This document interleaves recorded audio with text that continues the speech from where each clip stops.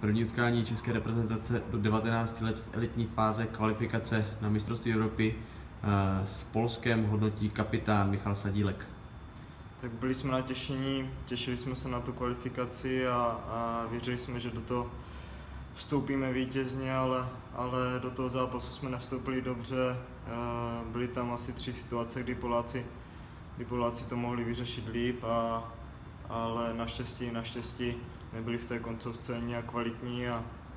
a po nějakých 20 minutách jsme se, jsme se zvedli, uh, vybojovali jsme si penaltu, ale, ale bohužel, bohužel jsem ji neproměnil a následně ten fotbal byl nahoru dolů a, a každý tým, každý tým měl několik závodů v 16. My jsme, my jsme rádi, že jsme udrželi nulu, ale, ale nakonec nakonec prostě ten, ten bude zklamání a, a tu remízu beru na sebe.